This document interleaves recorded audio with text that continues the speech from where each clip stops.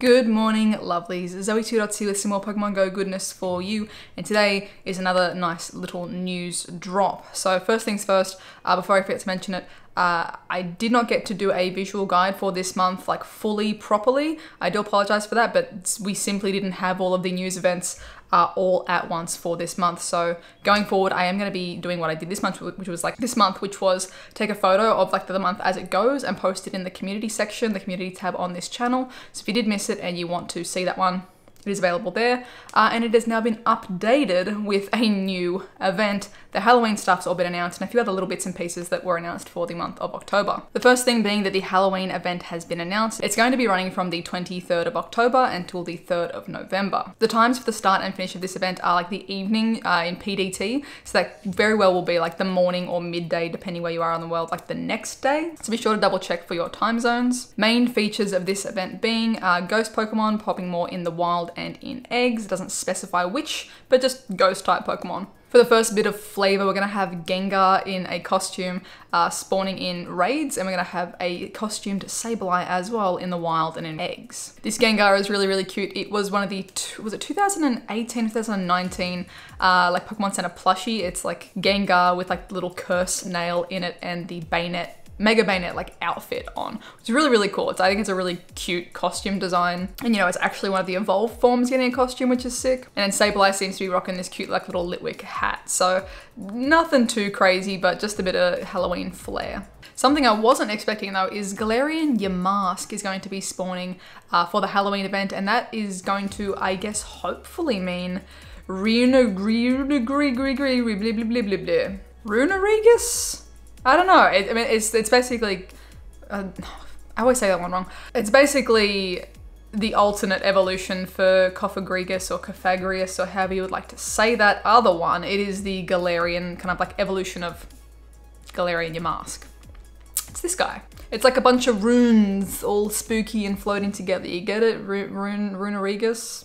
It's, we're getting that, hopefully, maybe. We're getting at least Galarian Yamask, which is cool. The Galarian Yamask is going to be tied to apparently some Halloween research. So our good old yearly special research is going to be uh, kind of guess, investigating this Galarian Yamask. Additionally, we're going to have just regular field research tasks that are Halloween themed. And you probably guessed it as well. I know a lot of people are guessing for our shiny Spiritomb, and we are going to be getting shiny Spiritomb uh, through both the special research, but also in just field research tasks. So that sounds like we're going to be getting chances at multiple this sounds like chances at multiple uh, Spiritomb, and then therefore multiple chances to check for Shiny Spiritomb, which is pretty cool. This has been a Pokemon that's like we've if you've been playing since day dot, you'd only have like two of these because they've been like the last two years like special like reward for doing the research. So keep your peepers out for that. It's not a bad shiny at all, so good luck if you are shiny hunting it. If you can't get enough research either, timed research will be happening for uh, Mega Gengar Energy, some Gengar Menergy in timed research for the Halloween event. Mega Gengar, I believe, should be popping in raids for Halloween too. Additionally, I think another one that everyone kind of guessed pretty much correctly because we were like, what else is it going to be? Our legendary raid boss for the Halloween event is going to be Darkrai. So spoopy vibes, spoopy theme.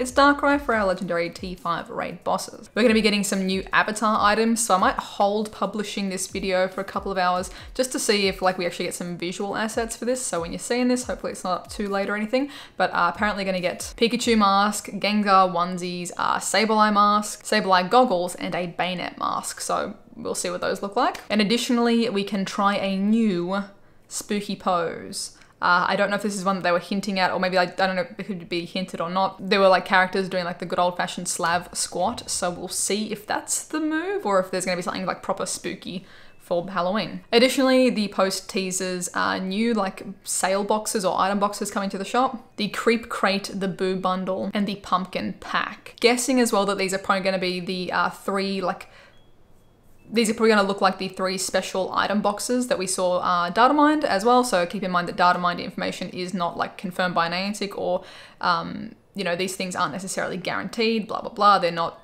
the source of truth, but this is what they look like. So maybe we'll see uh, if this information is accurate. That's pro probably, possibly what the boxes will look like.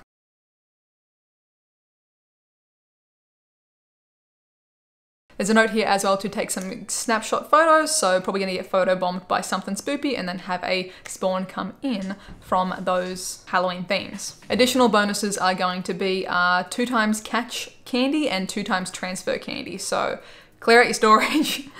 clear out your storage. If you're not someone who's doing it every like Tuesday when we've got that two times transfer anyway, got the whole Halloween event to just be doing a big deep clean out, do a bunch of trades if you've got someone you can trade with and just transfer, transfer, transfer, clear it all out. Within this Halloween event as well, we've got kind of like three other little mini events happening throughout. The first one being the ghost catching event. That'll be Sunday the 25th from 8 a.m. to 10 p.m. your local time. It's going to be uh, kind of like incentivizing good, great, excellent throws, different rewards based on that, some timed research. Drifloon appearing more often, it is a shiny potential Pokemon. And there'll be field research tasks as well, giving Gengar Mega Energy too. This day again, we'll be rewarding extra XP for a nice, great, and excellent throw. So depending how much that kind of stacks up to be, a nice little XP grind if you're keen. Then on the Monday, the 26th, again, this is PDT time, so it could be the 27th, depending where you are in the world, we'll start the Halloween Cup. So through Go Battle League, you can do the Halloween Cup, and it is limited to Poison, Bug, Dark, Ghost, and Fairy type Pokemon, all in the Great Leagues under 1,500 CP. But it's looking like it's gonna be like a fun kind of setup. Similar, I think this, I think this or almost this exact theme happened once for a Silph tournament maybe like last year or something. But similar kind of thing to what we've expected from previous Silph Cups. And I haven't done one of those in a hot second. But basically being able to participate in like a proper themed cup. That's going to run until the 3rd of November as well. But that'll be a fun little way to spice up the uh, Go Battle League. I know I haven't done as many battles as what I could. I just... I really love Great League and I always forget to properly do the battles and like before the league changes. I'm, I'm not the biggest fan of Master League. I don't really do it at all. Ultra I can get by, but I'm actually looking forward to competing in the Halloween Cup. Additionally, by competing in the Halloween Cup, you will have chances to encounter costumed Bulbasaur, Charmander, and Squirtle. And as a guess, I'd say it's probably the same costumes as last year. Were they all costumed last year? Yes, yes they were. That would be my assumption. Don't hold me to that though. Uh, and those were available as shiny too. And lastly, on Sunday the 31st will be a Alolan Marowak Raid Day. So it's been a hot second since we've had like a raid day event in Pokemon Go, like a hot second. Keep in mind, Alolan Marowak isn't the trickiest one to defeat, so you don't have to necessarily squat up with heaps of people or risk yourself or your health or anything like that. Uh, again, raids can be done remotely, all that kind of jazz, and it's gonna be running from 11am till 5pm your local time. So again, stay safe. There's no need to kind of like crowd and do that whole thing, but that is an option if you wanna do some Alolan Marowak raids. It's got a nice shiny, it's pretty good in PvP, it's got, it's got a little bit of everything.